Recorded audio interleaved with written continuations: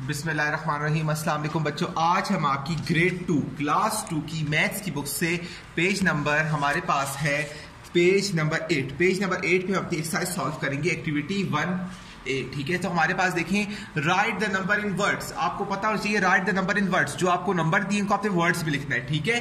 Words में आप कैसे लिखेंगे? 35 35 को किस लिखा है? किसने लिखा है? T H I R T Y thirty F I V E five thirty five को उन्होंने वर्ड्स में लिखा। उसके बाद है eighteen eighteen one and eight कितना होता है? Eighteen E I G H T double E N ये क्या हो गया? Eighteen E I G H T double E N eighteen उसके बाद हमारे पास है नाइन्टी फाइव क्या है हमारे पास? नाइन्टी फाइव तो हमारा नाइन्टी कैसे लिखेंगे? N I N T Y ninety F I V E five ninety five किस तरह?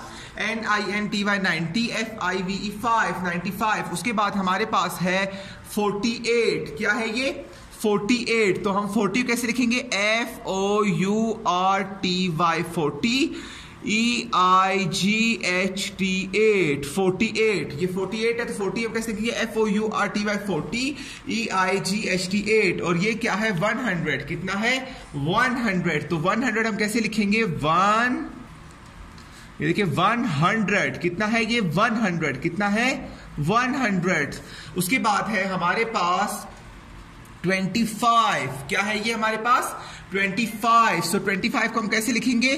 T W E N T Y twenty and five को F I V E five twenty five एक दफ़ा दोबारा देख ले मेरे साथ। Write the number in words हमें नंबर को वर्ड्स में लिखना था, जैसे ये था 35 so T H I R T Y thirty F I V E five thirty five उसके बाद था 18 सो 18 की स्पेलिंग क्या है? E I G H T double E N eighteen उसके बाद था 95 N I N T Y ninety F I V E five ninety five